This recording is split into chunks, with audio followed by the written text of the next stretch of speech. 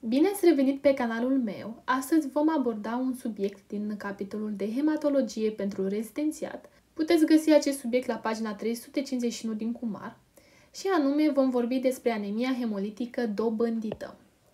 Ce înseamnă anemie hemolitică? Adică distrugerea eritrocitară. Aceste anemii pot fi clasificate în anemii de cauză imună, non-imună și altele. La cauzele de distrugere imună a eritrocitelor avem autoanticorpii, iar ca exemplu avem anemiile hemolitice autoimune, care sunt clasificate la cald, la rece și mixt. La cauză imună avem și CHAD, adică boala cronică a hemaglutinării la rece. Vom discuta mai târziu despre această boală. Vom discuta și despre hemoglobinuria paroxistică la rece, am creat această tehnică mnemonică, o vom discuta mai târziu. La cauze avem și aloanticorpii și anume boala hemolitică a nou-născutului. Avem și anticorpi induși de medicamente. Aceste medicamente sunt incluse în tabelul anemiilor hemolitice autoimune la cald, și anume metildopa, peniciline, cefalosporine, chinină, antiinflamatoare și interferon.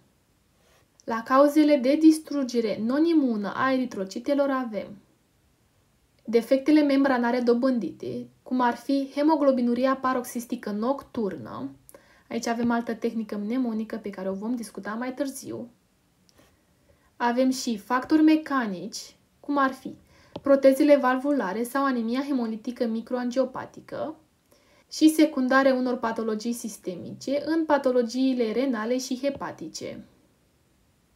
Cauzele variate pot fi substanțe toxice care pot afecta membrana eritrocitară, cauzând apariția hemolizei. Ca exemplu avem arsenicul și toxinele produse de Clostridium perfringens, care se mai numește velchi. Aici am scris welcome, ca să reținem uh, velchi.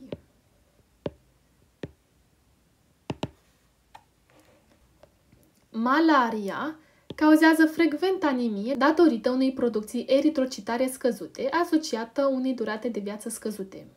Ca o altă cauză, putem avea hipersplenismul, care determină o supraviețuire redusă a eritrocitelor, care poate de asemenea contribui la apariția anemiei în cazul malariei.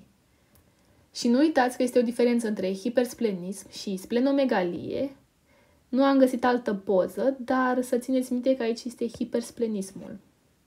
Mai avem și arsurile extinse, care determină denaturarea proteinelor membranare eritrocitare, urmată de scurtarea supraviețuirii celulei. Unele medicamente, cum ar fi dapsona și sulfasalazina, cauzează hemoliză oxidativă cu apariția corpilor Heinz. Aici avem ketchupul Heinz și vom face legătura Heinz cu hemoglobina, care este denaturată ca un mic bonus Dapsona este un antibacterian care oprește producția de acid folic din anumite bacterii. Deci, practic, oprește creșterea lor. Este folosită în lepră și malarie. Sulfasalazina este un antiinflamator intestinal și antireumatic. Unele chimicale ingerate, cum ar fi erbicidele, cum ar fi cloratul de sodiu, pot cauza hemoliză oxidativă severă, urmată de insuficiență renală acută.